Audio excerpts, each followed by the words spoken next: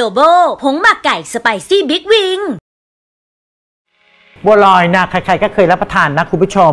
แต่ส่วนใหญ่จะรับประทานเป็นบัวลอยร้อนซะนะ แต่วันเนี้ยเสิร์ฟบัวลอยแบบเย็นๆ แถมอมเปรี้ยวอมหวานกับ fruit salad ด้วยนะคุณผู้ชม เก๋มาก Wow. ก็อย่างที่บอกกับคุณผู้ชมนั่นแหละ ว่ามีดน่ะเป็นสิ่งที่สำคัญที่สุดสำหรับคนครัวนะคุณผู้ชม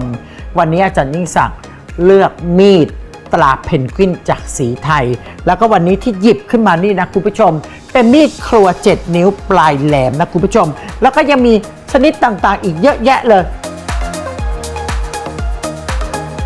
แล้วเวลาหั่นนะคุณผู้ชม จะไม่ทำให้ผลไม้เนี่ยช้ำนะคุณผู้ชมดูสิ เห็นไหมคุณผู้ชม คมกริบเลย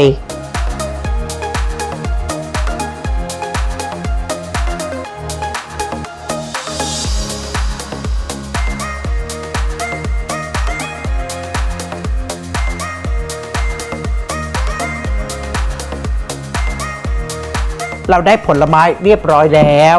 อาใส่สตรอเบอรี่แล้วก็สตรอเบอรี่ที่เราหั่นไว้ใส่ลงไป แก้วมังกร เนื้อมะม่วง อุ้ยน้ำดอกไม้ หั่นได้อย่างสวยงามเป็นชิ้นเป็นเหลี่ยม แคนชรูดเสร็จแล้วก็กีวีอันนี้จากนิวซีแลนด์เลยนะคุณผู้ชม เสร็จแล้วพอเราใส่ลงไปในชามเสร็จเรียบร้อย น้ำเชื่อม ไม่ต้องหวานมากนะคุณผู้ชม พักไว้จนกระทั่งเย็นสนิท wrap the cling film หรือหาฝาเป็ดนำเข้าตู้เย็นเตรียมไว้นะครับ ก็มีหลายคนนะคุณผู้ชม พยายามถามอาจารย์ยิ่งศักดิ์ไม่ว่าจะเป็นทาง Facebook หลังบ้านบ้างละไอจีบ้างละหรือแม้กระทั่งอีเมลถามก็ยังมีเลยนะ แป้งบัวรอย เวลารับประทานเสร็จแล้วเม็ดมันนุ่มนุ่มละมุนปากเขาทำยังไง วันนี้บอกคุณผู้ชมเลย อันนี้เป็นแป้งข้าวเหนียวนะครับ คุณผู้ชมคุณผู้ชมใส่ลงไปก่อนเลยพอใส่แป้งลงไปเสร็จเรียบร้อย คุณผู้ชมรู้ไหมทำไมเขาถึงได้ออกมานุ่มละมุน นี่ไง วันนี้เราใช้อัมพวากะทิแท้ร้อยเปอร์เซ็นต์คั้นทันทีตั้งแต่กระเทาะเปลือก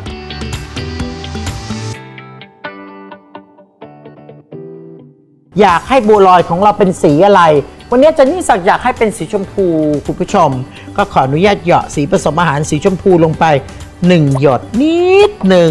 เสร็จแล้วก็จัดการคนผสมให้เข้ากัน เห็นไหมคุณผู้ชม เราก็จะได้แป้งข้าวเหนียวที่มีส่วนผสมของกะทิมีสีชมพูอ่อนๆเดี๋ยวนวดไปเรื่อยๆเรื่อยๆนะคุณผู้ชม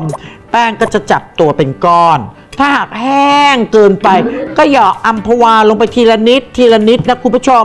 ประเดี๋ยวเราก็จะปั้นได้ เราจะพักแป้งนี้เอาไว้สัก 2 ชั่วโมงในตู้เย็น ด้วยการใช้ผ้าชื้นคลุมไว้ แล้วเดี๋ยวเรามาปั้นเป็นลูกกลมๆแล้วก็ต้มนะครับเสร็จแล้วเราก็นำออกมาจากตู้เย็น ปั้นเป็นรูปกลมๆแบบนี้คุณผู้ชมให้ขนาดมันประมาณเท่าๆกันนะคุณผู้ชม ไม่ใช่ปั้นเล็กบ้างใหญ่บ้าง ประเดี๋ยวพอบัวลอยสุกมันจะสุกไม่พร้อมกันคุณผู้ชม แล้วก็ใจนะ เป็นคนไม่ค่อยชอบสามสีสี่สี ไม่ได้บนบานสันกล่าวใคร ก็สีเดียวนี้แหละคุณผู้ชม สวยแล้ว สีอาจจะไม่เจิดจรัสแต่กินใจนานนะคะคุณผู้ชม Wow. แล้วก็ปั้นซะ อ้าวแหมมูตะคุย น้ำเดือดซะแล้วก็จัดการใส่บัวรอยเนี่ยลงไปนะคุณผู้ชม ขึ้นชั่วบัวรอย แน่นอนที่สุดตอนใส่ลงไปมันก็จะจม เราจะใช้ได้เมื่อไหร่ ก็ต่อเมื่อมันลอยเพราะชื่อมันก็บัวรอย ก็ต้องรอให้มันลอยก่อนสิคุณผู้ชมถึงจะใช้ได้ ก็ใส่ลงไป เนี่ยบัวลอยสีซีดๆแบบนี้แต่เวลาต้มสุกสีจะเข้มขึ้นนะอย่าเล่นไป เพราะฉะนั้นถ้าปั้นสีดั่งใจตอนนี้แล้วก็อุ้ยพอลอยขึ้นมาแล้วโอ้โหแก้บนได้เลยล่ะคุณผู้ชม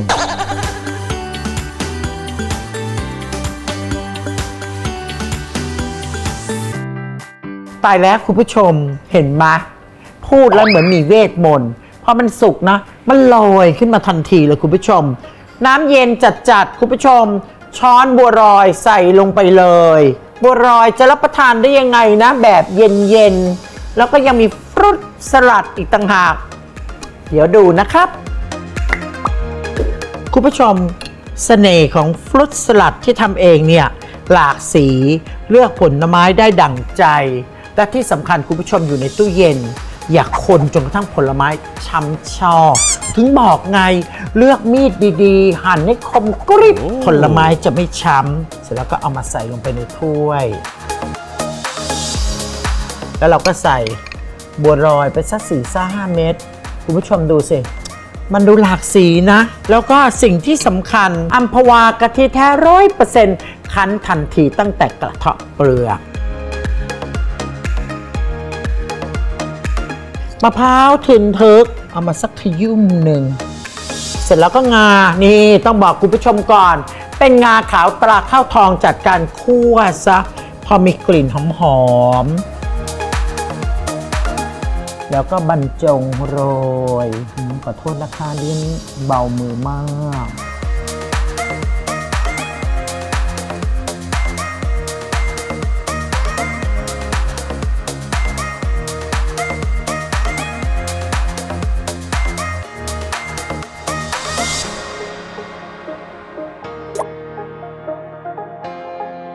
แต่สำหรับคุณผู้ชมอย่าลุกไปไหนนะครับ ช่วงหน้าสองแม่ลูกกำลังจะทำ passion fruit cheese bar ฝากคุณผู้ชมคงอร่อยครับ